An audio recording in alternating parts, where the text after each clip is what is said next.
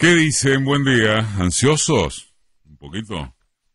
Saben que estamos en veda, en vigencia desde ayer a las 8 y hasta mañana a las 21, lo cual requiere de dos aclaraciones que este programa eh, remarca sistemáticamente hace años y que en este comienzo editorial habrán de reiterarse. En primer lugar, y de paso reforzamos información, para quien pueda tener dudas, la restricción alcanza solo a las formulaciones proselitistas. No se puede convocar al voto por figuras o fuerzas competidoras, pero hasta podría entrevistarse un candidato que hablara de cualquier otro tema. No se puede difundir encuestas ni bocas de urna, pero sí, respecto de ambos relevamientos, sugerir sin nombres propios las tendencias de que dispone cualquier periodista contactado mínimamente como se debe. Más aún, la veda no comprende ni a las redes ni a Internet en su conjunto. Eso cayó en un vacío legal, nunca cubierto, de modo que, por caso, uno podría en este mismo momento cuidarse al aire en extremo, en cada palabra, y en los tuiteos o en Facebook, bajar cuanta línea explícita se le antoje. En segundo lugar, por tanto, el respeto a los impedimentos se relaciona mucho antes con razones de ética y hasta de lo que puede considerarse buen gusto, que en torno de las prohibiciones regladas. No hay antecedentes de sanción alguna, además y jamás, para quienes pudieran haber sido susceptibles de violar la norma, ni siquiera para los que van a votar con distintivos partidarios. ¿Alguien conoce a quien alguna vez haya sido sancionado? Entonces, ratificado lo que para Marca es simplemente el imperativo, comillas, moralista de no recargar tintas, las circunstancias generales de estas elecciones obligan, sin embargo, a tomar el riesgo, llamémosle así, de que pudiese parecer lo contrario. Por ejemplo, ¿Cómo podría ignorarse la hedionda jugada mediático-judicial para que unos cuadernos quemados a la parrilla, según el propio denunciante, resuciten de sus cenizas y se conviertan de mm, fotocopias a originales a cinco días de votar? Muchachos, el periodismo independiente no estimó que pudo haber esperado hasta el lunes, aunque sea, para presentar la documentación de origen anónimo ante el fiscal escapista. Déjense de joder.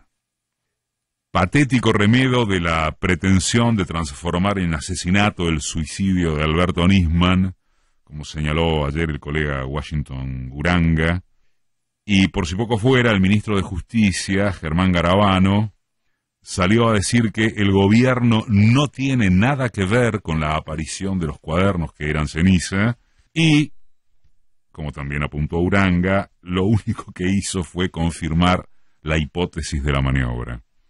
Y cómo no subrayar que el gobierno sigue quemando reservas a lo pavote a un ritmo espeluznante de centenares de millones de dólares por día para intentar frenar el dólar y lograr el efecto inverso en la cotización local y alguno dirá, bueno, es su fiesta timbera. Lo dicen, se lo dicen voceros propios, tan calificados como Rosendo Fraga, que no pueden creer semejante grado de inutilidad política y técnica. Otro colega de página, Raúl de la Torre, sintetizó la situación con brillantez en su columna de este viernes. Un traspaso con las arcas vacías. Véanla si pueden. Eh, alude a la progresión geométrica de la pérdida de reservas, que el gobierno podría haber resguardado si adelantaba las restricciones para comprar y retirar dólares que probablemente, muy probablemente, deberá tomar este lunes, para cuando se prevé también, según los pronósticos, hasta diría que unánimes, eh, algún feriado eh, bancario con perspectivas de desdoblamiento del dólar y, como decía, achicamiento de la franja de lo que se puede comprar. A su vez, los últimos datos indesmentibles, consultoras privadas, fuentes del INDEC, la mera constatación en el súper o en el chino, corroboran aumentos en estos días de entre 12 y 15% en los productos de la canasta básica. El temor, uno de los temores, es a que se desate una suerte de mini hiper. En realidad, las expectativas de intervencionismo estatal en el libre mercado cambiario y o de precios, si se impone la variante opositora, son menores que el hecho de que no hay, no puede haber, quien se imagine cómo podría el actual oficialismo reconducir al país contra una oposición extendida, confiada, efervescente. Y paramos aquí por aquello de no recargar tintas en la veda. Se supone que nos entendemos. Mientras tanto, y bien que repica ajeno, Chile. Chile que impacta desde por lo menos dos aspectos centrales de contundencia similar.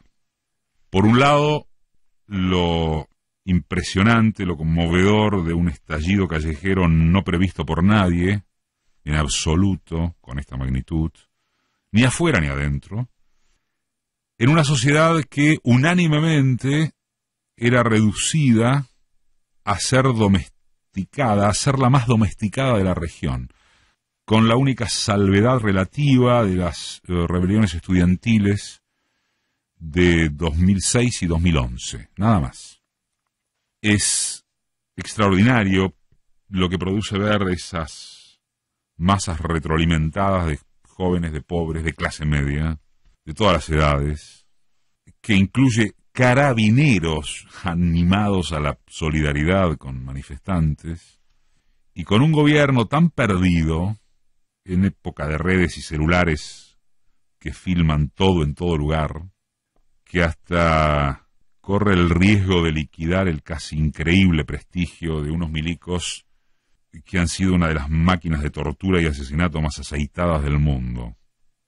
Es eh, caricaturescamente inconcebible, por intentar una definición ligera, muy ligera, escuchar a los vainilla que hablan de una articulación continental cubano-venezolana y hasta mundial, ha escuchado uno por ahí, por Cataluña, Líbano, Irak, pero por otra parte resulta que esta vez es correcto citar al espontaneísmo como factor decisivo, antes y después de este 2001 chileno que es social, pero no político en la acepción, llamémosle, operativa de esa palabra, donde estuvieron o están en rol determinante las fuerzas de oposición de nuestros vecinos ¿Dónde la presencia gremial? ¿Dónde algún liderazgo de algún tipo? ¿Dónde alguna organización que vehiculice la protesta para canalizar algún proyecto más o menos colectivo? Ni la Iglesia Católica aparece en Chile en este momento, siendo que hablamos de una curia que en pleno pinochetismo supo tener, por ejemplo, en el cardenal Raúl Silva Enríquez, arzobispo de Santiago hasta 1983, un protector inclaudicable de los derechos humanos. El programa de, de, hoy, de este sábado, dedicará uno de sus capítulos principales a examinar semejante tema en perspectiva regional, pero por lo pronto y sin perder de vista nunca, nunca, lo emocionante que están generando los chilenos el contraste con la arquitectura político-social argentina es evidente. Como para reivindicarnos gracias a una cuestión nada menor, y por más que suene antipático, describir de acuerdo con antónimos, ahora que Chile se despertó. Acá sí hay, objetivamente, al margen de imputaciones o chicanas justas e injustas sobre corruptelas, autoritarismos y demás, es, acá sí hay una fuerza política no testimonial que pone en entredicho al neoliberalismo o para precisar a los neoliberales. De hecho, las campañas de las dos fuerzas que acá están en condiciones de ganar mañana, digamos, insistieron en que hay dos modelos en pugna. Y hay fortaleza sindical, y hay interlocutores de movimientos sociales, y hay conducción y hasta liderazgo en la oposición, y hay curas que levantan la voz, y hay el periodismo que atravesó estos años que eran de desierto con una lata de anchoas, y hay muchos significativos referentes sectoriales e intelectuales que también advirtieron acerca de lo que estaba y lo que se venía.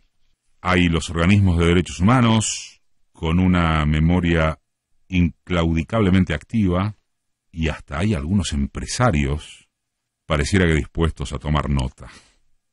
Mañana entonces podrá ser certero que, a tono con el vértigo de los tiempos universales, se votará más en contra que a favor de. Pero tengamos en cuenta las características distintivas de este país con empate hegemónico entre las fuerzas de la reacción y las de orientación popular. Acá hay disputa efectiva, y eso siempre es una buena noticia. Y Néstor Kirchner, a diez años de su muerte, estaría muy contento.